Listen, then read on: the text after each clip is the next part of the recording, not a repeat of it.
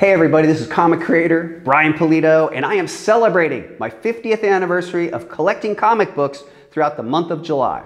It's true, in July of 1974, I began collecting comic books and I have not looked back since.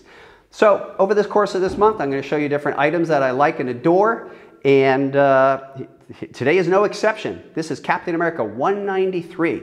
What makes this special is it's the return of the king.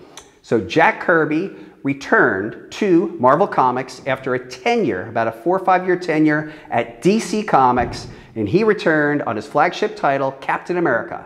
And he kicked off a wild storyline called Mad Bomb. Now, arguably, this is one of the most iconic comic book covers ever created.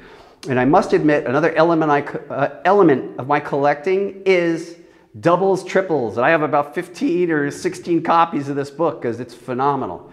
So yeah, I love the Kirby stuff. Let's see, show you a couple of pages of the Kirby's return.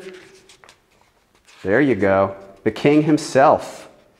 His wild, expressive action. Wow, look at that apocalyptic image. I mean, Kirby returns with a bang, no joke. So each day during the month of July, I'm going to show you a collectible that I like from my collection of over 50 years. And thanks for tuning in. Tune in again tomorrow.